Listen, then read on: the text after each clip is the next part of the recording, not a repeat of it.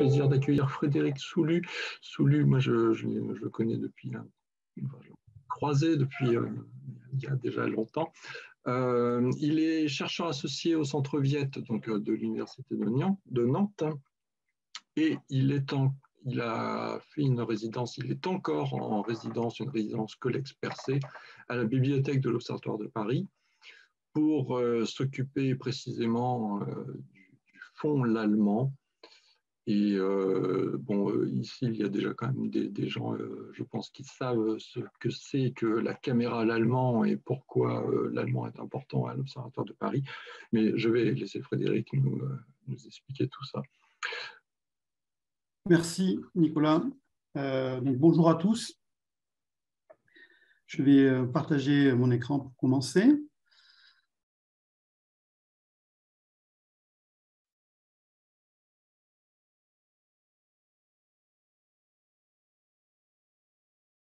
Euh, voyons. C'est bon Vous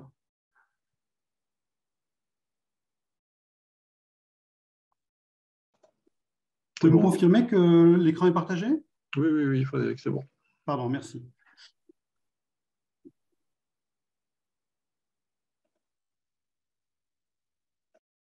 Voilà, nous y sommes. Euh, alors, je, voulais tout de suite euh, euh, commencer par remercier le service de communication de l'Observatoire et la direction de la, bibliothèque de, me donner l'opportunité de, partager largement mon, travail de recherche en histoire des sciences et des techniques. Cette recherche s'est euh, effectivement euh, effectuée dans le cadre d'un dispositif tout à fait original et nouveau de résidence de recherche à la bibliothèque de l'Observatoire de Paris. Le, projet est, accompagné et financé par euh, l'infrastructure de recherche Colex Percé et il associe un chercheur avec un référent euh, d'information scientifique et technique de, l'établissement. Ici, en l'occurrence, c'est Alette Tissot des Écotés, la, directrice adjointe, euh, avec qui je, mène ce, projet. La bibliothèque de l'Observatoire de Paris, comme vous le savez, euh, comme beaucoup de bibliothèques d'établissements de recherche, soutient la recherche active dans, son domaine disciplinaire, ici l'astronomie, mais elle a aussi une mission de collecte et de conservation euh, de documents historiques et particulièrement d'archives historiques et, du patrimoine de l'établissement. Alors, le projet de recherche autour du fonds d'archives l'allemand participe de cette mission. Je vais donc euh, vous présenter les apports du classement de cet important fonds d'archives pour la connaissance des caméras électroniques. Euh, ces caméras électroniques l'allemand leur réputation euh, fut internationale. Elle, est, considérée comme un des précurseurs des, détecteurs électroniques contemporains de l'astronomie. Et elles ont pesé lourdement sur euh, l'activité de l'observatoire. Je vous propose tout d'abord un retour historique sur l'aventure des caméras euh, allemandes, puis je vous présenterai le fonds d'archives, et enfin je souhaite évoquer l'enquête complémentaire autour des traces matérielles de cette histoire euh, à l'Observatoire et à travers le monde.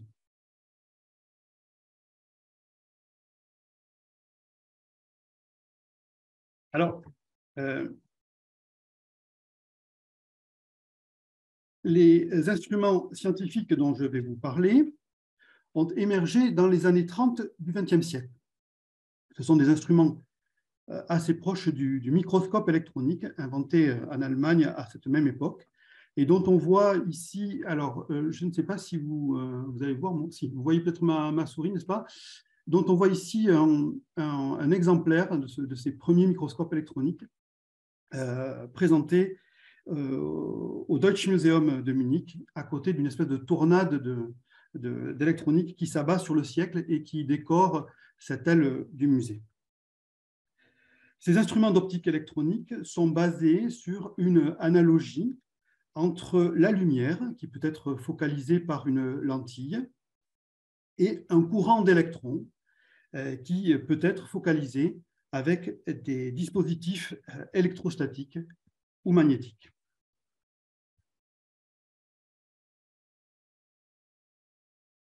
André Lallemand est un physicien venu à l'astronomie.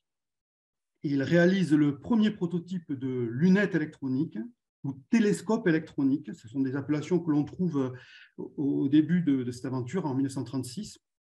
Des appellations qui sont ensuite abandonnées au profit du terme de euh, caméra électronique. Donc, ces premiers prototypes, il est mis au point en 1936 à l'université de Strasbourg. Euh, vous voyez ici pardon, une, une photographie, une reproduction d'une photographie, une illustration d'un article de, revue de vulgarisation de, 1937, où on voit le, prototype à l'étude sur la paillasse du laboratoire. Euh, alors, les photons de, lumière qui sont donc euh, venus des étoiles, par exemple, mais euh, ici, sur le, cas précis de, cet exemplaire prototypique, c'était venu d'une source, de la lumière venue d'une source artificielle. Alors, ces photons sont transformés en électrons. donc, la lumière arrive ici, vous voyez. les photons sont transformés en électrons sur, au contact d'une couche chimique particulière, on ne va pas rentrer dans les détails, on parle d'effet photoélectrique, et euh, ces électrons produits sont ensuite accélérés et guidés euh, par l'optique électronique et peuvent alors être visualisés sur des écrans cathodiques, comme on, devine ici, ah, pardon, on le devine euh, ici, l'écran cathodique sur le dispositif, voyez donc soit sur les écrans cathodiques, soit enregistrés sur des plaques photographiques particulières. Et le signal lumineux initial est alors fortement amplifié.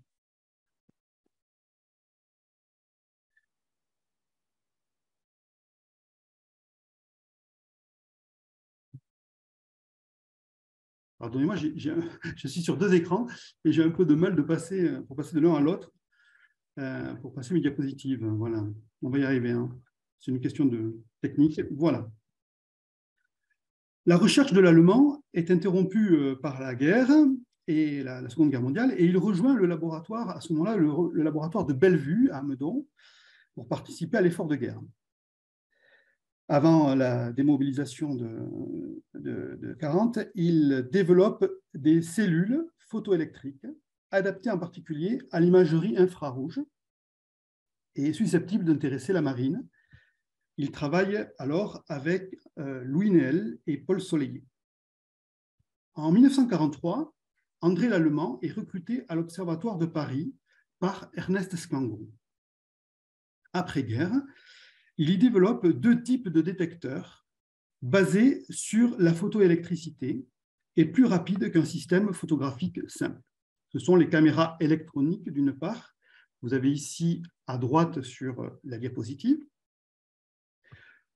on en voit un exemplaire qui est sur son bâti de préparation, avec ici le corps euh, d'optique électronique, pardon, ici le corps d'optique électronique de la caméra. Mais il travaille aussi dans le même temps sur des photomultiplicateurs dans la partie gauche de, votre écran, qui ne donnent pas d'image, mais un courant électrique euh, mesurable.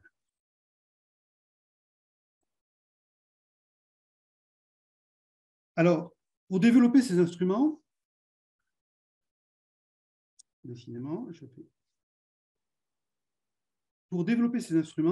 André Lallemand bénéficie de l'appui de la marine, qui reste intéressée par le développement de systèmes de vision amplifiés euh, pour, euh, pour la nuit.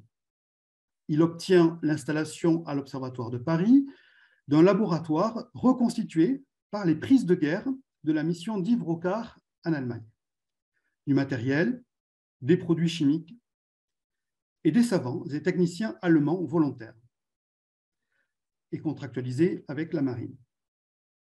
Les savoir-faire allemands développés pendant la guerre dans ce domaine d'activité sont ainsi transférés à des équipes françaises, civiles et militaires. On voit sur cette image à gauche la euh, chimiste Ida Retz en train de euh, préparer une couche photoélectrique. Elle se trouve sur ce cliché dans le laboratoire de la marine, à l'observatoire, qui était une baraque euh, temporaire, un, abri temporaire, dans les jardins et qui est aujourd'hui détruite. Le développement rapide de la technique et les premiers succès sur le ciel nocturne conduisent à la construction d'un bâtiment spécifique en 1961 dans un contexte euh, d'investissement massif de l'État dans la science. Et on est là bien après le départ euh, des derniers savants allemands.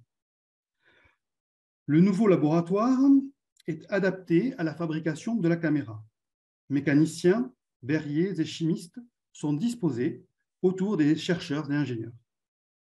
Le bâtiment se situe euh, au nord-est de l'observatoire, le long du mur d'enceinte. C'est un bâtiment qui se trouve donc ici, on le devine à peine. Il est adossé donc, au mur d'enceinte et assez discret. Un second site du laboratoire est ouvert à Meudon autour de Gérard Vléric vers 1957. Les photomultiplicateurs sont produits à plusieurs centaines d'unités et diffusés en France et dans le monde. Les caméras électroniques, produites à plusieurs dizaines d'unités, sont installées dans les plus grands télescopes nationaux disponibles dans les années 60. Celui du Pic du Midi, par exemple, ou celui de l'Observatoire de Haute-Provence. Le cliché que vous avez ici à l'écran représente euh, un des premiers modèles de caméra autonome, hein, qui, n'avait pas besoin de son bâti pour fonctionner, placé au foyer de la lunette dite de la Sorbonne, euh, donc euh, à l'Observatoire de Paris, pas très loin des locaux de la communication. Des exemplaires de caméras électroniques sont aussi vendus aux Américains, comme en témoigne cette pièce d'archive extraite du fond. On y voit le plan d'un ménisque qui est donc le, support de la, de la, couche photoélectrique, avec plusieurs mentions de LIC, LIC numéro 2, pour LIC, indiquant que cette pièce est destinée à un des plus grands télescopes du monde lors de sa mise en service en 1959, l'observatoire de LIC, donc aux États-Unis. Si la caméra électronique connaît un certain succès, elle est cependant en compétition avec d'autres détecteurs électroniques dans les années 60 et 70, comme l'indique ce schéma du milieu des années 70, synthétisant la situation euh, technique. Donc, la voie technique euh, choisie par euh, l'équipe L'Allemand est représentée ici. vous avez donc la lumière qui arrive. Elle arrive sur une photocathode et une optique électronique, et elle est ensuite captée sur une émulsion électronographique. Et vous voyez qu'un certain nombre d'autres euh, techniques sont utilisées euh, dans les années 60-70. Un nouveau modèle de caméra grand champ est développé dans les années 70 et prend place dans les observatoires internationaux du Chili et de Hawaï. Cependant, le choix des astronomes se porte massivement au début des années 80 sur la technique CCD, qui permet l'obtention immédiate des données d'observation. Cette, technologie, cette technique CCD existait dans les années 70, elle était en cours de développement et on la voit d'ailleurs euh, ici sur ce schéma Charge Coupled Devices. Ce choix de la CCD conduit à l'abandon rapide et brutal des caméras allemandes et euh, la dernière caméra en usage astronomique est décommissionnée en 1987 à l'observatoire du CFH Canada France Hawaï, que vous avez donc en photo ici à l'écran. Alors, peut-être qu'une caméra euh, a été décommissionnée plus tard à l'Observatoire d'Haute-Provence. On m'a parlé d'une caméra de 89, mais je n'ai pas encore trouvé les, éléments pour, pour, pour l'affirmer. Les caméras électroniques ont cependant permis euh, quelques observations astronomiques remarquables, parmi lesquelles on peut mentionner l'identification de composants optiques de quasars, la rotation des bras de la galaxie M31, euh, les mesures, euh, des, caractéristiques de l'anneau de Saturne, euh, la mesure d'étoiles doubles très serrées, mais avec de grands écarts d'éclat, de, de magnitude. Mentionnons aussi des utilisations non astronomiques dans le domaine de la spectroscopie atomique, par exemple. Alors, Les acteurs de cette histoire de la caméra électronique avaient le souci de laisser traces et témoignages de leurs inventions. L'allemand lui-même, dans les premières années, constitue un album photographique illustrant des années 30 aux années 50 les principales étapes du développement de l'instrument. On voit par exemple ici un cliché euh, sur la gauche de l'écran qui représente euh, euh, un, canon à électrons qui était destiné à tester les, émissions photographiques. Et ce cliché est extrait de, ce, pardonnez-moi, de, ce, cet album photographique. Dans les laboratoires, des vitrines étaient aménagées pour présenter les meilleures réalisations de l'équipe. Lors de la fin du laboratoire, c'est un ingénieur de cette équipe, Léopold Renard, qui rédige un mémoire de 300 pages sur l'histoire de la caméra. Enfin, certains de ses collègues conditionnent et stockent des caméras pour les préserver d'une destruction, y compris en les dissimulant ou en les dispersant dans l'établissement. Le fonds L'Allemand sur lequel j'ai travaillé a eu une trajectoire complexe. Son cœur est constitué par les archives personnelles et de recherche d'André Lallemand. Alors, André Lallemand prend sa retraite en 1974, mais continue de fréquenter son laboratoire jusqu'en 1978, date de son décès euh, accidentel. Ces archives sont conservées sur place, euh, euh, sont conservées sur place, pardon. Les liasses de, ses collègues y sont adjointes au fur et à mesure de leur départ. Vers 1995, un versement est organisé à la bibliothèque de l'Observatoire de Paris. Les archives y sont stockées dans le bureau d'une bibliothécaire, fille d'un des membres de l'équipe allemand, puis à partir de 2010, dans des réserves. Ce fonds a été acheminé en 2021 sur le site de Meudon pour la résidence de recherche. Il était alors composé de 26 cartons, donc vous, en avez, ici une, photographie qui en présente quelques-uns, dans lesquels les liasses sont partiellement organisées à l'Observatoire de Paris, les archives d'après-guerre échoient à la mission archive. Les objectifs de la résidence étaient le tri, le reconditionnement et la mise en ordre du fonds, puis la mise en ligne de son catalogue sur euh, CALAM, le catalogue de l'Agence des bibliothèques de l'enseignement supérieur. Enfin, une valorisation scientifique et grand public des premières recherches sur ce fonds est en cours. Donc, exposition virtuelle créée sous Omeka, qui sera en ligne sur le site web de l'Observatoire, et un colloque scientifique de fin de résidence. Il faut bien comprendre que le travail de traitement et de description du fond est le plus chronophage et euh, le plus, aussi le plus ingrat. Il représente près des deux tiers euh, de la résidence. Le tri se fait sur la base de textes réglementaires qui sont synthétisés dans, euh, dans un outil qu'on appelle le tableau de gestion des archives produites par les départements et services scientifiques de l'Observatoire de Paris. Ce document m'a permis d'identifier ce, qui est obligatoire de, ce qui est obligatoire de conserver et ce qui peut être euh, détruit. Alors, un des premiers enjeux de la résidence a été de décrire un ensemble très hétérogène de documents, plans, clichés électroniques, comme ceux que vous avez à l'écran. Donc, ce sont des, clichés, vous voyez, qui sont sur des petites plaques de verre. Euh, pour, euh, pour l'échelle, vous avez là un crayon. Et donc là, ici, on a une série de clichés de tests. Et puis ici, vous avez euh, des clichés sur un fond de ciel obtenu avec la caméra électronique. Et chacun de ces petites plaques de verre est ensuite collé sur une plaque plus grande. Alors, on trouve aussi bien sûr de la correspondance, assez classique, mais aussi des factures des multiples prestataires industriels qui étaient impliqués dans ce projet. Dans un contexte tendu d'espace de conservation disponible, le choix a été fait de la conservation par échantillonnage, toutes les cinq années, de ce type de, facture, pour renseigner le réseau d'entreprises impliquées dans cette innovation. Concernant les nombreux plans du fonds, un travail d'interprétation des cartouches a été nécessaire pour proposer un plan de classement cohérent avec la conception des instruments. Ces plans sont très précieux pour dater et documenter les objets, euh, identifier les matières dans lesquelles ils sont fabriqués, et euh, on a parfois euh, des indications du nombre d'exemplaires d'objets fabriqués, ce qui est assez intéressant. Ces plans permettent aussi une description précise de l'instrument avec de ses différentes parties, en utilisant le vocabulaire spécifique à, cette technique instrumentale. Alors, au terme de ce travail euh, de mise en ordre du fond, euh, on peut caractériser ce fond par d'abord euh, l'importance de sa dimension. Il représente 6 mètres linéaires, ce qui est sensiblement une soixantaine de boîtes d'archives. On peut aussi souligner son hétérogénéité, qui documente de la direction par l'allemand jusqu'aux travaux sur les paillasses euh, des techniciens du laboratoire.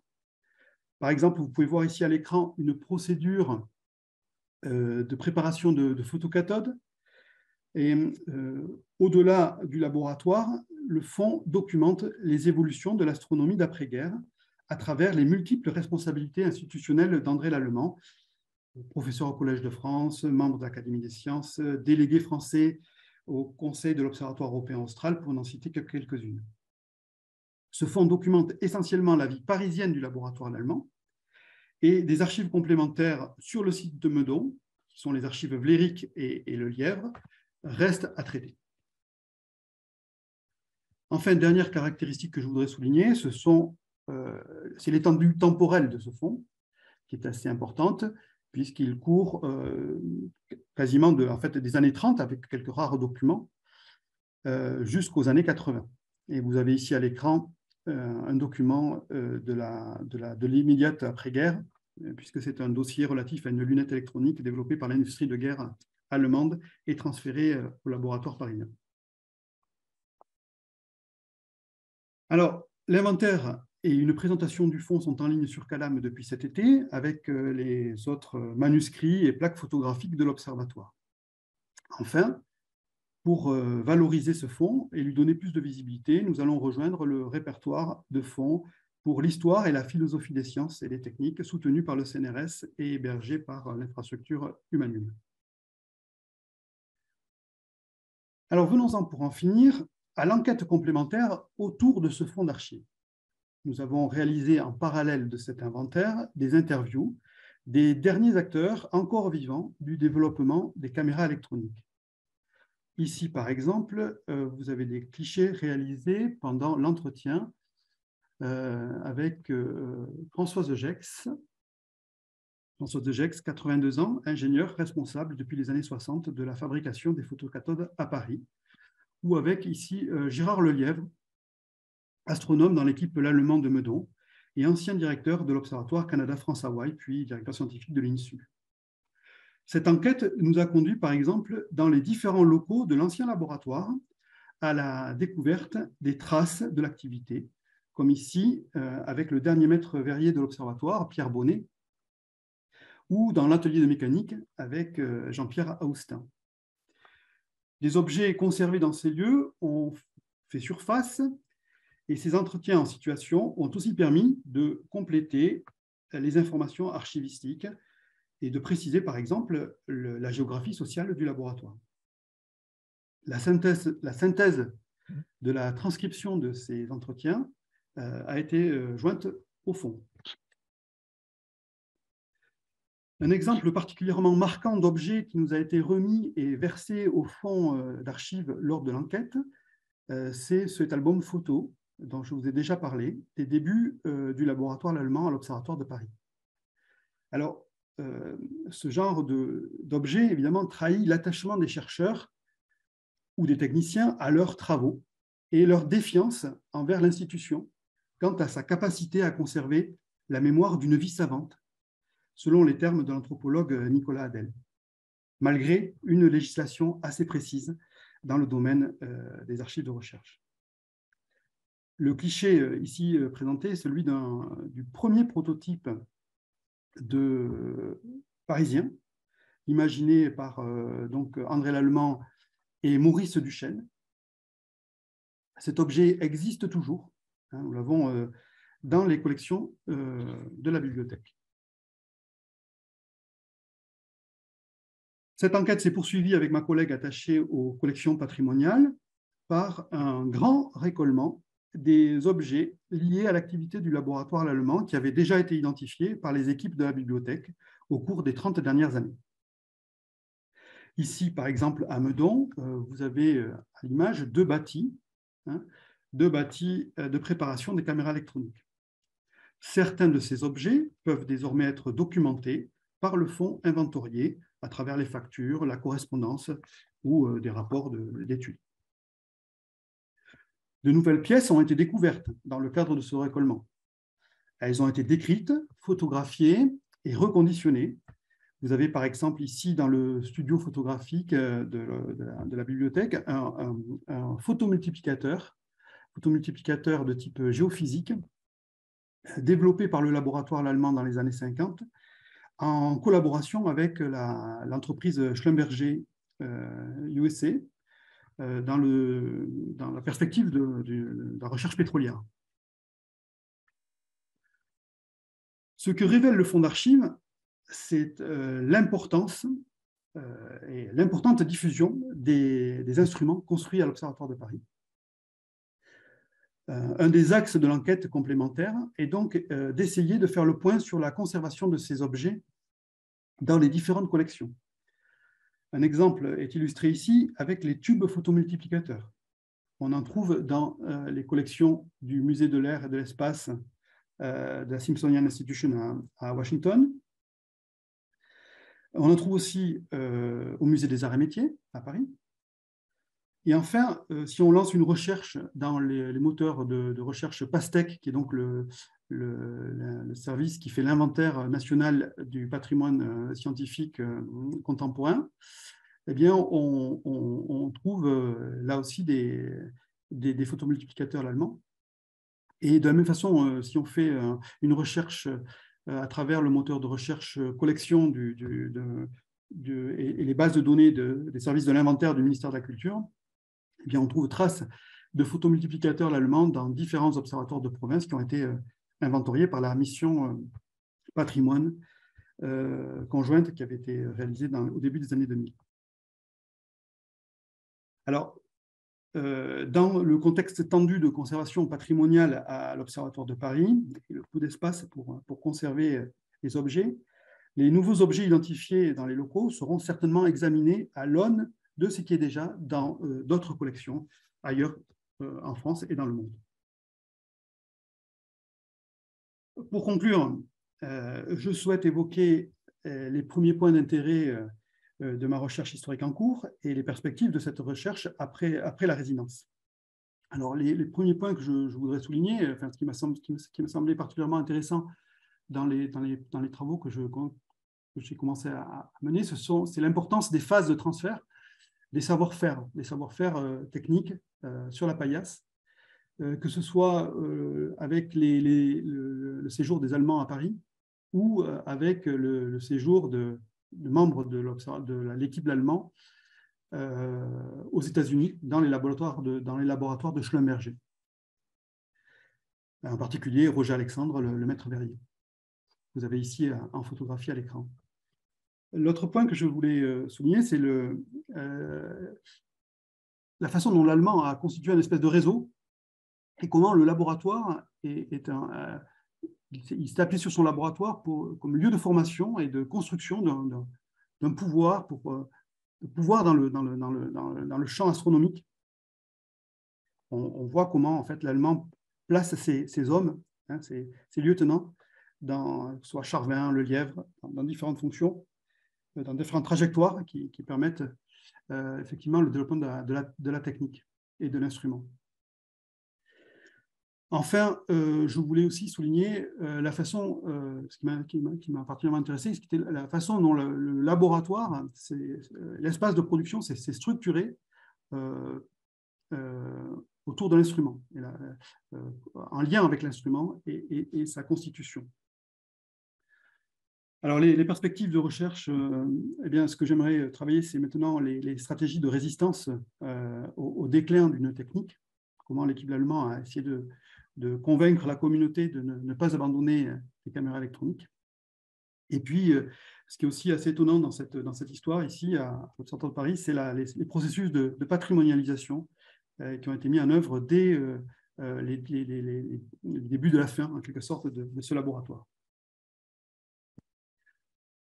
Pour conclure tout à fait, permettez-moi d'abord d'évoquer le, colloque qui aura lieu à l'Observatoire de Paris, donc le colloque scientifique de, fin de résidence qui aura lieu le 26 septembre 2022, et je vous invite tous bien sûr à, y participer, sur le caractère générique de, cette instrumentation d'optique électronique.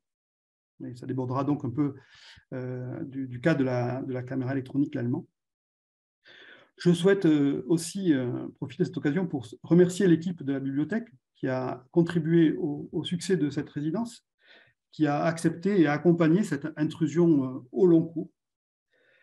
J'espère que mon travail aura créé de, nouveaux attachements, selon le concept développé par l'anthropologue Thierry Bonneau, avec euh, ces, différents objets. Ces instruments, éclairés par le fonds d'archives allemand, permettent, il me semble, d'écrire une histoire des sciences par en bas, au niveau des acteurs moins visibles de la construction des savoirs, mais aussi une histoire des techniques moins positivistes, dans laquelle les acteurs du laboratoire allemand ont perçu euh, la fin de leur technique et se sont battus contre euh, l'abandon de leur euh, invention. Voilà, je vous remercie pour votre attention.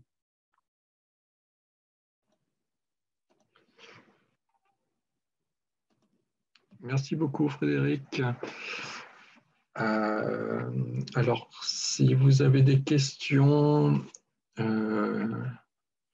il y a des gens qui applaudissent avec les mains, mais est-ce qu'il y a des gens qui veulent poser des questions avec leurs mains? Euh, j'ai enfin, déjà une question, je, vais, amorcer. Euh, j'avais, euh, je, m'étais intéressé, mais rapidement à ces, caméras électroniques et l'histoire du laboratoire en allemand. le développement des caméras pour faire de l'imagerie euh, de nuit, je ne sais pas si on doit appeler ça de caméra, mais enfin de vision nocturne, euh, c'est quelque chose qui a été développé pendant la guerre ou peut-être même un peu avant. Euh, il y a eu des développements en Allemagne. donc là, tu as parlé de, d'apports allemands, de, scientifiques allemands qui sont venus travailler sur Paris. Est-ce que est-ce que c'est vraiment quelque chose en parallèle de ces caméras électroniques ou est-ce que c'est une, voie en fait qui a divergé à un moment euh, des techniques qui ont divergé? Alors, euh, autant que je puisse en juger à travers ce que j'ai euh, pu, voir et travailler, en fait, les astronomes se sont intéressés à, l'infrarouge pour. L'Allemand d'abord s'est intéressé à l'infrarouge assez tôt, en fait, euh, à travers euh, notamment euh, sa thèse, puisqu'il sa thèse secondaire portait sur les observations infrarouges de, la couronne solaire.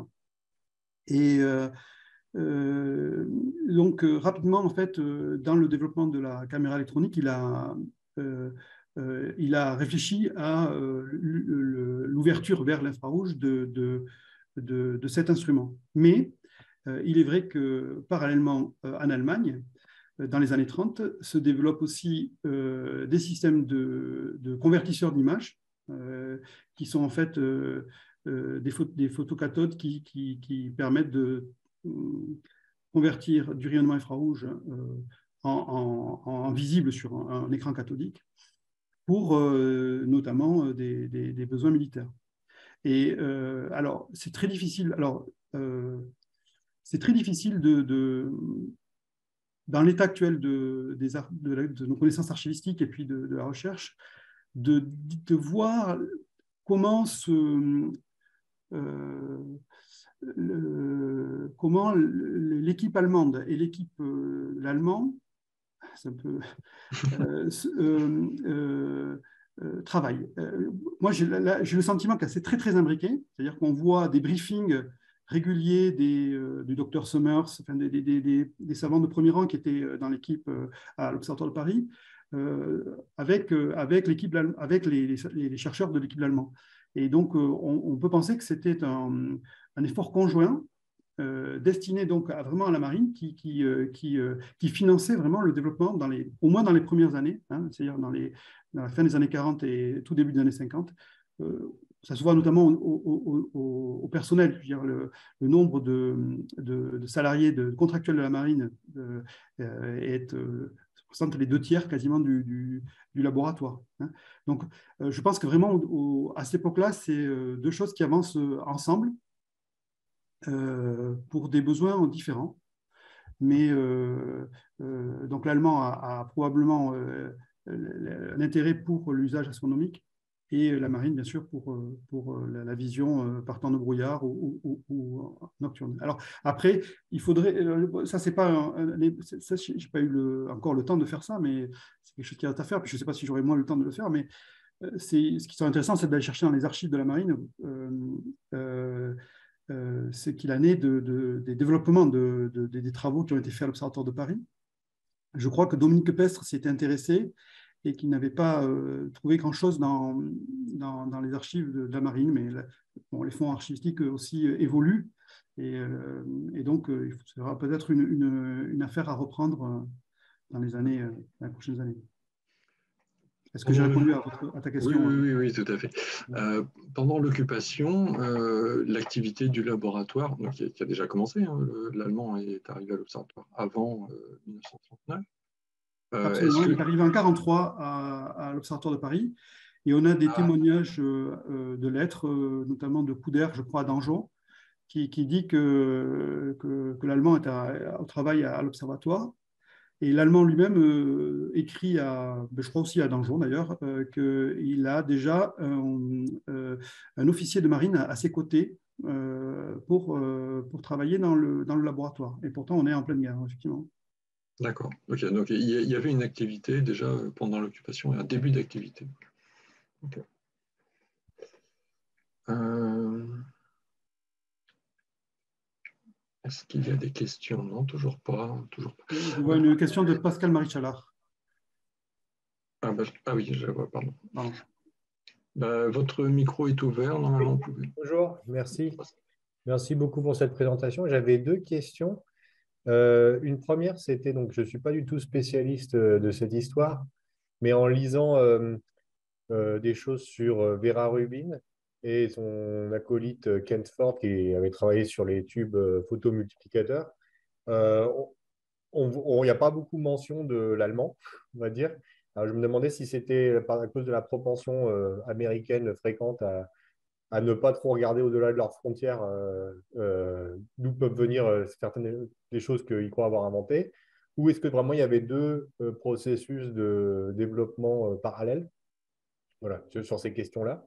Et une autre question, c'est moi je m'intéresse à la question de la sélection de sites des observatoires dans les années 50, 60, 70. Et j'avais vu un article de 1952 dans Science d'un certain John Irwin, qui, s'appelle euh, euh, Localisation optimale d'un observatoire photoélectrique, où il explique que euh, faire de l'astronomie photoélectrique implique de réfléchir complètement différemment à la question de où mettre les observatoires. Notamment, lui, il explique qu'il faut des, surtout des ciels extrêmement dégagés, que c'est le, critère principal, et dégagés de façon uniforme sur, sur, tout, le, sur tout le ciel. Et je voulais savoir si éventuellement dans les archives, vous aviez rencontré des considérations de l'allemand ou d'autres sur ça, sur, ça, sur le, le, meilleur lieu pour mettre euh, ce genre d'instrument. De, voilà, merci. Donc, merci pour vos questions. Euh, alors, pour la première question, euh, qui était donc sur. Pardon. Est-ce que, est que, les Américains ils développent. Oui, oui, oui, pardon, pardon, pardon. Parallèle ou est-ce que. Oui, oui, pardon, pardon, pardon. Donc, oui, alors là, je, vous renvoie à la, thèse de, de euh, Samantha Thompson, donc de la euh, Simpsonian, qui, qui va venir d'ailleurs, qui sera présente au colloque du 26 septembre, qui a travaillé sur justement les débuts de, du tube photomultiplicateur à la Carnegie Institution. Euh, alors en fait, euh, clairement, l'intérêt euh, américain existait avant, avant, avant l'allemand, mais n'avait pas connu de développement particulier. Et c'est réellement la campagne de, de Rocard et, donc de, derrière, enfin, et, le, voilà, pardon, l'allemand et, le commandant Munch, donc qui dirigeait le, laboratoire de la marine, ont fait en 54 une, grande tournée des, universités américaines pour présenter leurs résultats. invité par, par le, gouvernement des États-Unis. Et c'est à peu près à cette époque-là que Vannevar Bush, donc, qui n'est pas un inconnu pour ceux qui s'intéressent à, l'histoire des sciences et du développement des sciences aux États-Unis après-guerre, repère ce, cette, invention et va euh, euh, lancer un programme de, développement euh, à la Carnegie. Donc, le développement américain n'est pas déconnecté effectivement de, de, développement qui a l'Observatoire de Paris. Mais bon, je n'ai pas eu le temps moi, de travailler vraiment sur, sur cette, cette, cette liaison. Et j'espère que Samantha Thompson nous en parlera euh, assez abondamment euh, le 26 septembre. Alors, concernant votre seconde question, effectivement, on a euh, dans le, dans le fonds allemand un certain nombre de, de, liasses qui concernent la sélection de sites, puisque André Lallemand a été impliqué dans le choix des, sites français, enfin pour le grand télescope français, et puis qui, aboutit donc en fait au site d'Hawaï. Et il a d'ailleurs euh, beaucoup échangé avec euh, Merle Walker, qui était donc euh, l'astronome de l'Observatoire de Lick, sur les sites californiens à ce sujet. mais moi, je n'ai pas eu le temps de traiter ces archives. Voilà, donc, parce que, évidemment, bah, c'est un fonds assez, important, comme vous l'avez compris, et donc on fait des choix liés à sa problématique. Et comme vous le savez aussi, certainement. Et donc, voilà. Donc, je vous invite, bien sûr, à, venir euh, consulter ce fonds.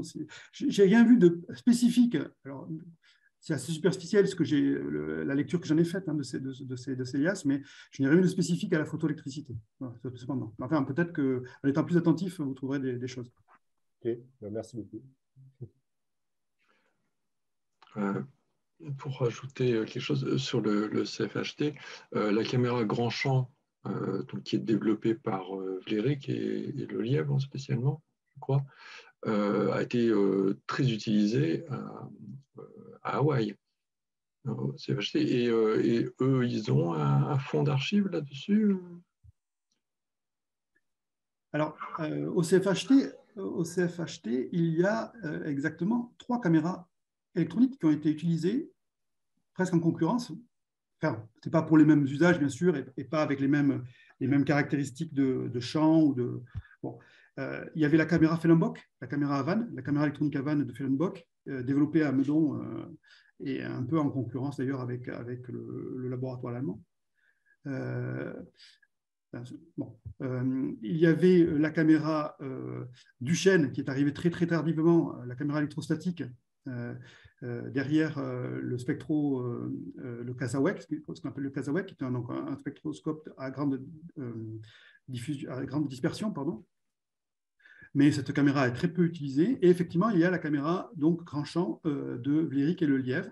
Et il y a des archives, je crois, qui sont au GPI toujours, concernant le lièvre et, et, Vléric.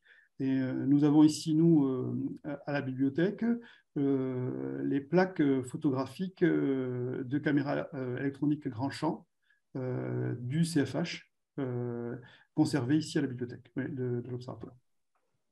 Et si je peux me permettre, moi je connais les archives du CFH à Hawaï, qui ne sont pas vraiment classées parfaitement bien rangées, etc.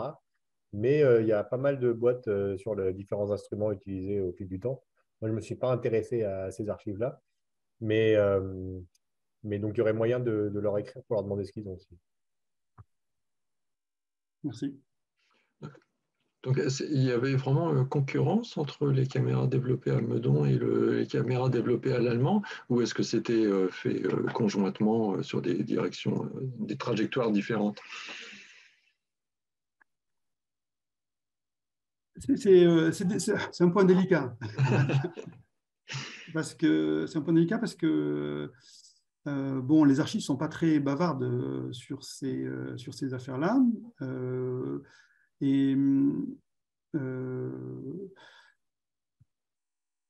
on ne voit pas vraiment de, notamment au moment de la, des, demandes de budget ou d'affectation de, des budgets, on ne voit pas vraiment de, d'événements, euh, de, faits qui, qui permettent de, dire cela. Mais si je me permets de dire ça, c'est vraiment à travers les, témoignages que j'ai recueillis. Et euh, Donc évidemment, c'est plus, plus, subjectif, mais c'est des, témoignages convergents quand même. Donc voilà, bon.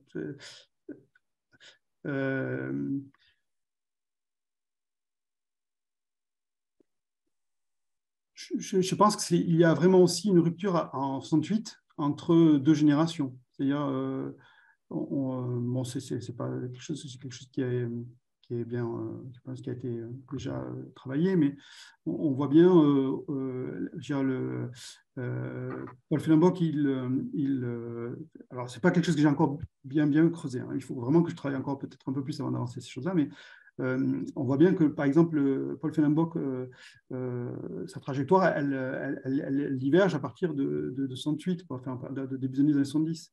Et c'est vraiment une, génération différente qui, s'intéresse à, d'autres, types de, effectivement aussi de, projets, hein, qui s'intéresse d'abord au spatial, je crois, puis ensuite, donc euh, son projet, lui, c'est d'avoir une caméra électronique qui était plus, euh, portable, plus, euh, facilement facile à mettre en œuvre hein, et, qui pouvait être utilisée pour des éclips, par exemple, lors d'observations sur le terrain ou dans, le domaine spatial. Donc, effectivement, il y, a, plusieurs choses. Il y a, il y a des, usages différents, des projets qui sont différents, mais on sent bien quand même que les, les, tensions sont, là au sein des équipes.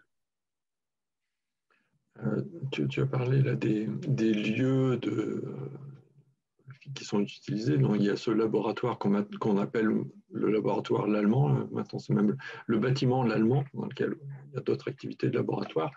Euh, il y a eu cette création à Paris. Il y a, eu, aussi la création du laboratoire d'optique qui s'est installé dans, la salle de la Méridienne, dans la salle Cassini. je crois que je ne sais plus si je sais plus l'année de création de ce laboratoire qui s'est terminé avant, mais est-ce que c'est des là encore une fois, est-ce qu'il y a des, concurrences euh, parce que c'est des c'est quand même des installations euh, qui ont dû demander beaucoup d'investissement euh, à l'observatoire. comment ça cohabitait J'ai du mal à, imaginer comment des grands projets comme ça pouvaient cohabiter. Bah, ce sont des projets, des projets qui voient le jour dans un contexte politique particulier, hein, qui, est, donc euh, euh, le, tout début des années 60 avec euh, l'investissement massif dans la science. Ensuite, il y, a, le colloque de 58 avec Mendes France, et puis ensuite l'arrivée au pouvoir de De Gaulle et, la création de la DGRST, la Direction générale de la recherche scientifique et technique. Donc on a euh, un, un, accompagnement politique euh, important avec des, budgets importants pour, euh, pour développer de, de, nouveaux, de, nouveaux, de nouveaux équipements. donc, c'est aussi, voilà, c'est donc aussi une époque qui, qui, porte cet effort, hein, un contexte particulier, je pense. Après, quoi dire d'autre là-dessus Je, je, n'ai pas, pas, beaucoup d'autres choses à ajouter, peut-être. Ok. Euh, est-ce que d'autres personnes ont des questions? Si ça n'est pas le cas, eh ben, on va clore. Euh, si tu n'as rien d'autre à ajouter, Frédéric? Non, merci. Merci à tous. Et puis, donc, j'espère vous retrouver autour du, du, du, du, colloque du 26 septembre. Qui aura lieu, si je ne me trompe pas, euh, salle Donjon. Ah, salle Donjon, salle Donjon, euh, donc sur le site de Paris, hein, de l'Observatoire. Absolument.